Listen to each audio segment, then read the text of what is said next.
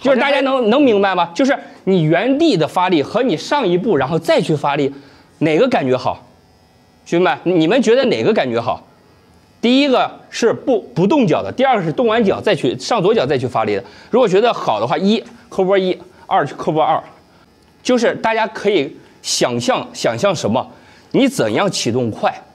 你这样启动快，还是这样启动快？就是我原地有个小颠步启动快，还是你站那不动去去启动快？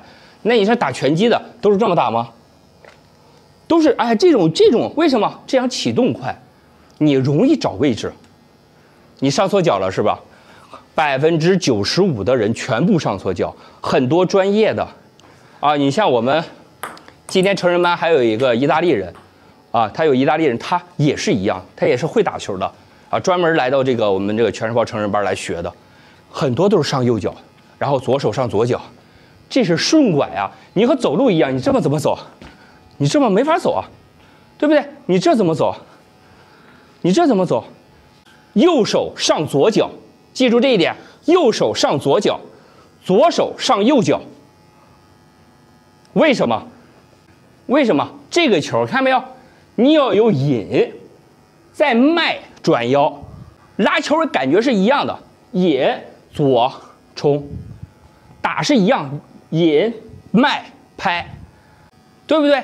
站得近，站得近的话，如果在你手下，那你可以不用动。啊，但是原地颠一步是最好的，因为你原地或者是你不迈脚的话，你永远是使不上劲儿的，这干的劲儿，你看干的劲儿，所以大家一定要记住一这一点，就是我们去发力的时候，我发完球原地一定要垫一步，然后上左腿拍，啊，现在我讲的是拍打，但是这个步法是适用我们所有的拉拍都是一样的。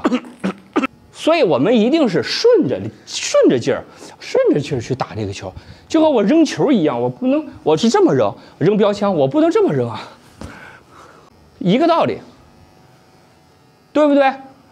而且还有一个，这个关键点是在哪儿？关键点是之前你要有一步垫步，啊颠啊原地一个小垫步，然后再出左脚，多示范。OK，咔，看没有？看我脚下，兄弟们可以看我脚下啊。看，看我脚下，啊，放松放松，对吧？我只要脚卡上了，我手顺了，我我没事，啊，这正脚我就点上了啊，哎，谁？是不是？